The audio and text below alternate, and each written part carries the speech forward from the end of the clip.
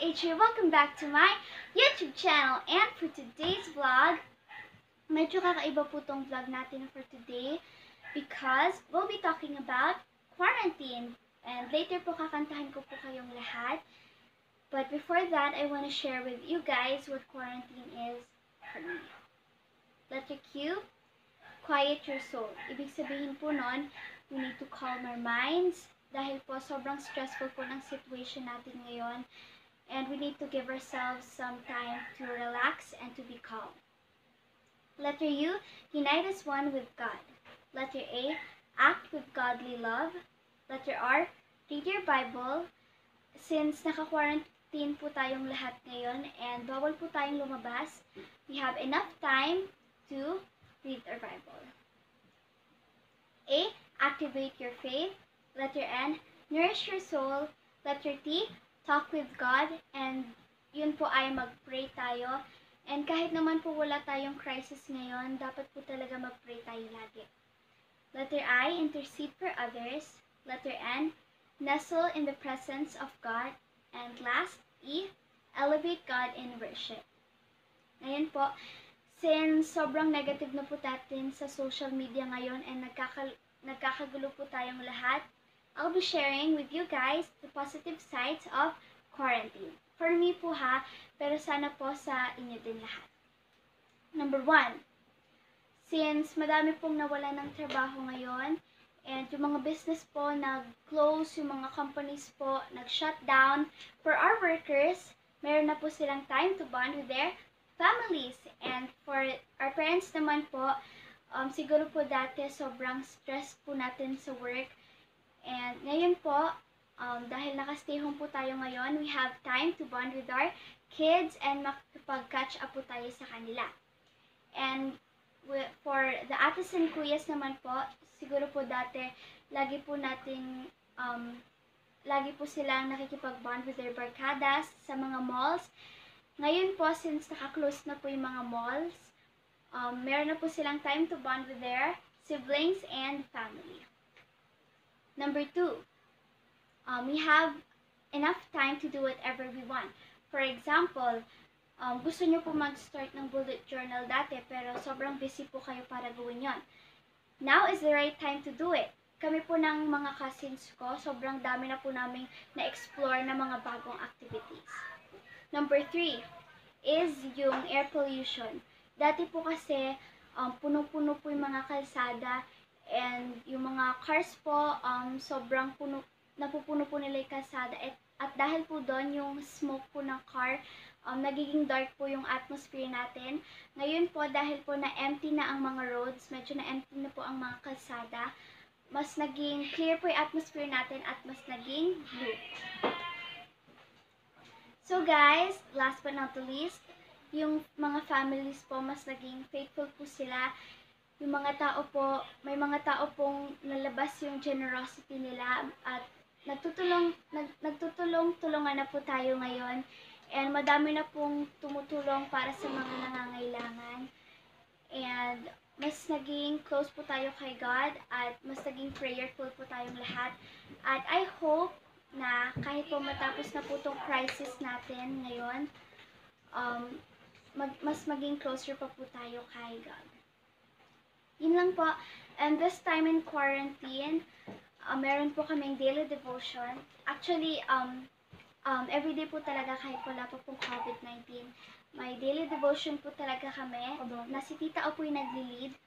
At dahil po doon, um, nire-recite po kasi namin everyday yung Psalm 91 at dahil po doon na may, um, may na-explore akong bago kong favorite na verse. And i-recite ko po yung konti ng Psalm 91.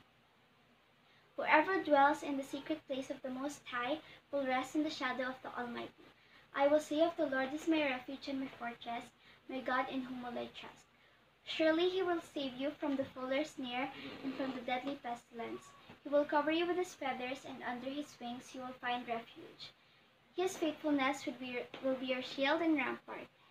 You will not fear the terror of the night, nor the arrow that flies by the day, nor the pestilence that stalks at the darkness. A thousand may fall at your side, and ten thousand at your right hand, but it will not come near you. You will only observe with your eyes and see the punishment of the wicked. Yun lang po i-recite ko muna. Pero promise ko sa inyo, i-recite ko po siya ng buo next time. And ngayon po kakantahan ko na po kayo ng kumapit ka lang. And sana po ma-encourage ko po kayong lahat um, para um, sa song na po na ito. Hope you like it.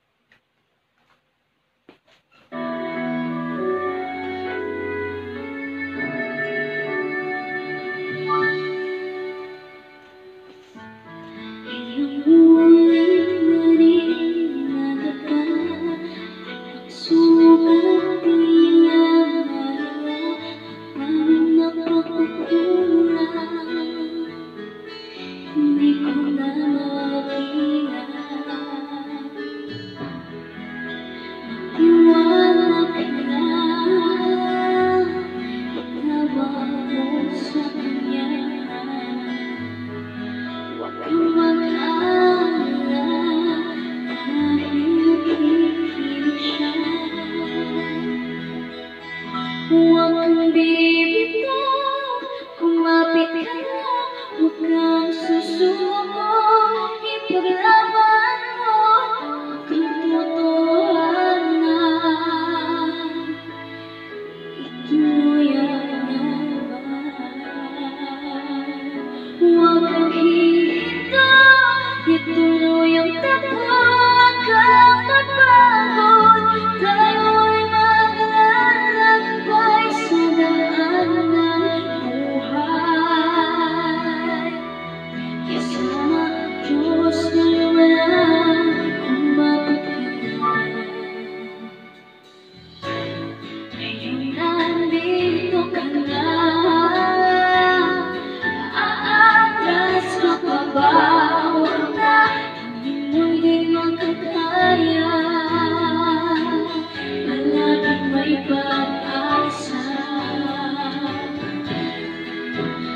Tiwala lang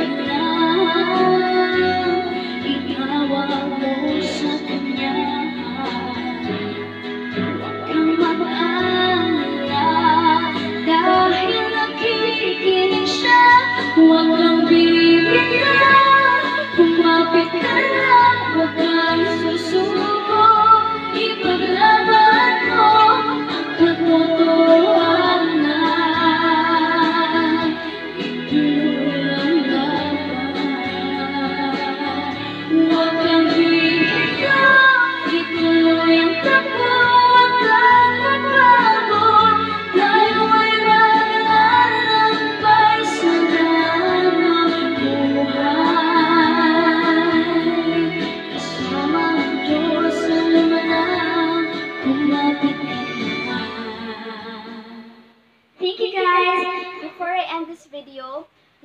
ko i-appreciate yung mga frontliners po and especially the government and President Duterte for sacrificing.